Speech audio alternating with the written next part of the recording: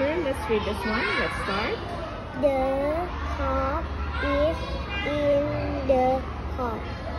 The hot pot is in the pot.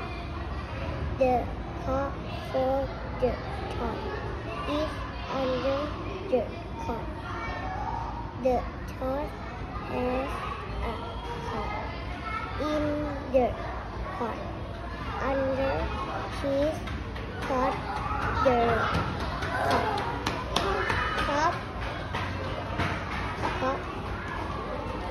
under the cut is for the top.